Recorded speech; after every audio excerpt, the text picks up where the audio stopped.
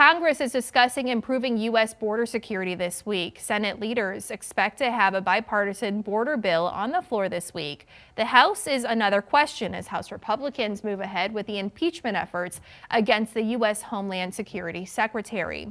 Meantime, Northern New York Congresswoman Elise Stefanik and other House Republicans asking New York's governor to do more about illegal crossings. NBC5's Tyler Bronsky joins us live in the newsroom with the big takeaways. Tyler?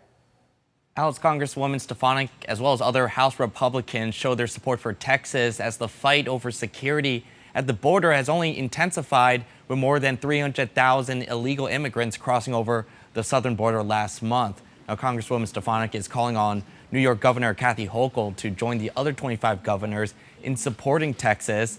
She also says Hochul should take a similar measure to protect the northern border. Stefanik blames President Joe Biden for the open border issue, saying He's refused to act on the matter.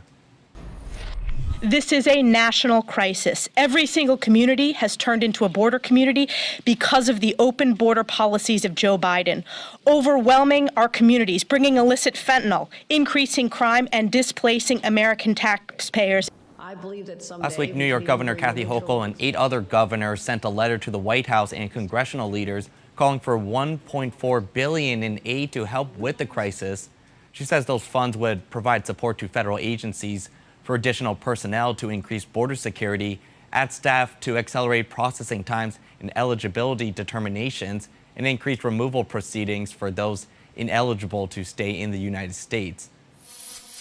Now, Democrats on the House Homeland Security Committee have argued there's no basis for an impeachment, saying that policy differences are not impeachable. Reporting live in the newsroom, Tyler Bronsky, NBC 5 News.